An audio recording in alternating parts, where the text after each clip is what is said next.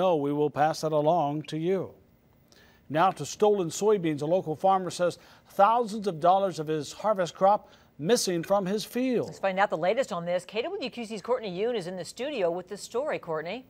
Gary Paula, when Lamotte, Iowa farmer Matt Schuster went to go check on his soybeans, he immediately saw that someone else had been in his field with a combine. At first, he thought they had gone through mistakenly, just one pass through with a combine. Then he drove further and saw 18 acres of his crops had been taken. Flat out organized crime. Matt Schuster says it's too bad his stolen soybeans won't have fingerprints on them. I've never heard of this in all the years I farm. I've been farming for over 50 years, and I have never once I've ever heard anybody getting into the wrong field and taking beans from a farmer. He says he's heard of cattle being stolen, even grain from bins, but nothing like this. They worked fast.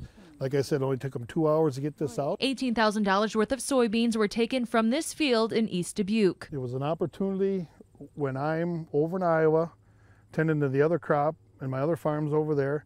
They figured out a way to slip in and slip out. Beans he had contracted for $12.64 a bushel for an order due next month. I thought, my God, a combine got in the wrong area, so I thought it was just one pass and then he backed out. It happens occasionally.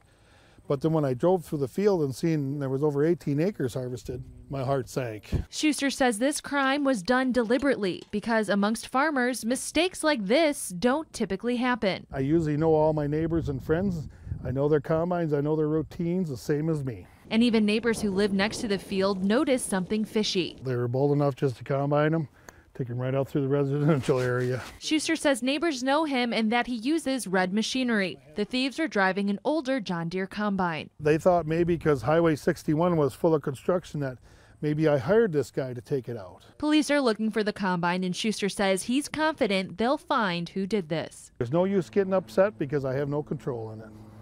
Only thing I can do is work with my insurance company and salvage what crop is left. Matt Schuster says he noticed his soybeans had been taken on Sunday at his East Dubuque, Illinois field, but believes whoever stole them harvested them last Tuesday before the rain. Neighbors who live nearby say whoever was taking the beans had black hair with a slender build, driving an older John Deere combine. And the Jo Daviess County Sheriff's Department is still investigating this. Farmer Matt Schuster is offering a reward, $2,500 for any information. That contact number is there on the screen. It's 815 777 2141.